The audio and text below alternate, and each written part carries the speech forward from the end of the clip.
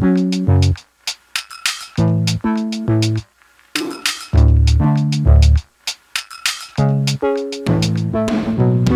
this video, I'm going to talk about another SAP proprietary technology called BAPIs. BAPIs support both inbound and outbound integration. They support both synchronous and asynchronous type of communication.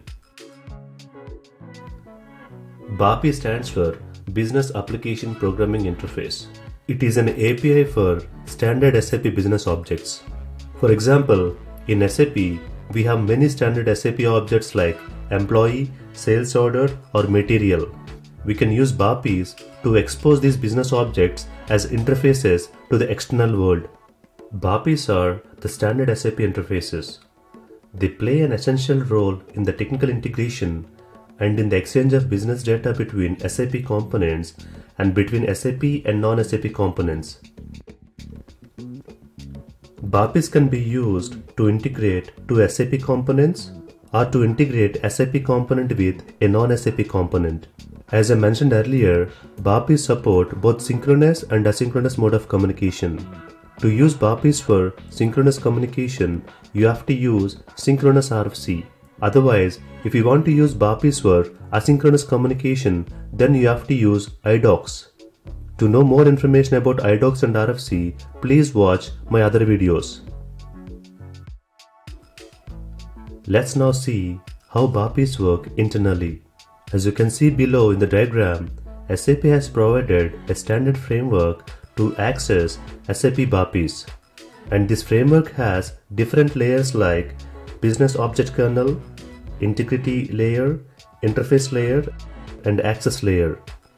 Business object kernel layer consists of all the data model for SAP standard business objects.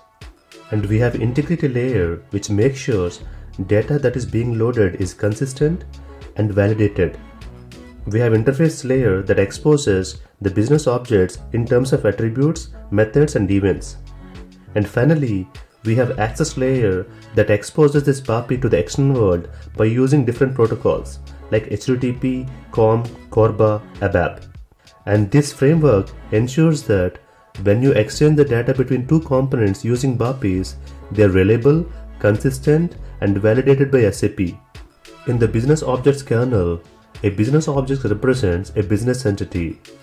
Like we discussed, it can be an employee, it can be a sales order.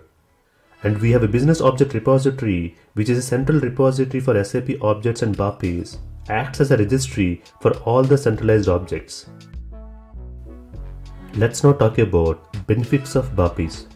BAPIs provide openness, they are stable and compatible, they provide standard communication between business systems, and they also provide standard semantics and validation rules for business object integration. Let's now have a quick recap quiz. What is the T-code for BAPI Explorer? What is the T-code to create ALE interface for BAPIs? Which object would you create for asynchronous BAPI communication? Please let me know your answers in the comment section. Thank you for watching.